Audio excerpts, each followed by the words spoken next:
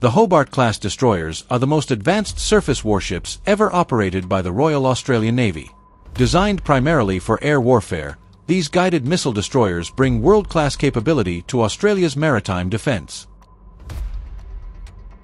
Built by ASC in South Australia and commissioned between 2017 and 2020, the three ships of the class, asterisk asterisk HMAS Hobart, HMAS Brisbane, and HMAS Sydney asterisk asterisk, are based on the Spanish Alvaro de Bazan design but customized to meet Australian requirements. Each vessel displaces around 7,000 tons, stretches over 147 meters in length, and carries a crew of nearly 200 sailors.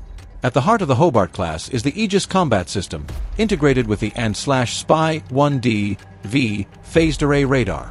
This powerful combination gives the ships the ability to track and engage multiple air and missile threats simultaneously, providing protection not only for themselves but also for entire fleets and ground forces ashore. Their arsenal includes a 48-cell vertical launch system, capable of firing SM-2 and ESSM surface-to-air missiles, making them lethal against enemy aircraft and incoming missiles. They also carry anti-ship missiles, torpedoes, a 5-inch main gun, and advanced close-in defense systems. Together, this gives the Hobart class a true multi-role capability, extending far beyond air defense.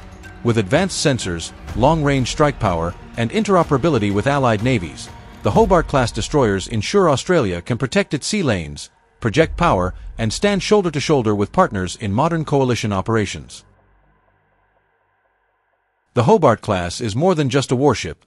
It is a symbol of Australia's commitment to securing its maritime future in an increasingly contested Indo-Pacific.